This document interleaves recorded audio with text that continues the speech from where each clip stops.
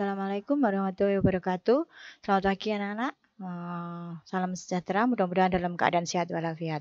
Materi hari ini kita bertemu lagi dengan saya Bu Erni. Eh, kita belajar bersama dengan percaya diri.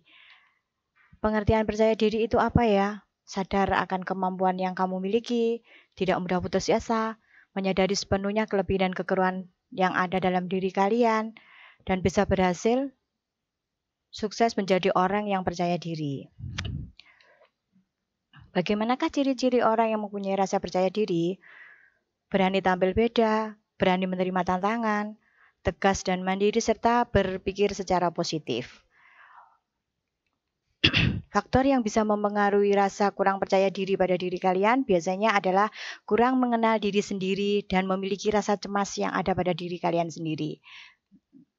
Bagaimana cara meningkatkannya? Bisa menciptakan definisi diri yang secara positif. Pujilah diri sendiri, jangan takut merasa gagal, mengatasi masalah secara positif, membuat orang lain menghormati Anda, menghormati kalian, berteman dengan orang yang memiliki rasa percaya diri yang sangat tinggi. Nah, upaya mengatasi percaya diri bisa dengan menjadi diri sendiri, berpikir secara positif, optimis, serta bersyukur. Untuk meningkatkan rasa percaya diri bagaimana?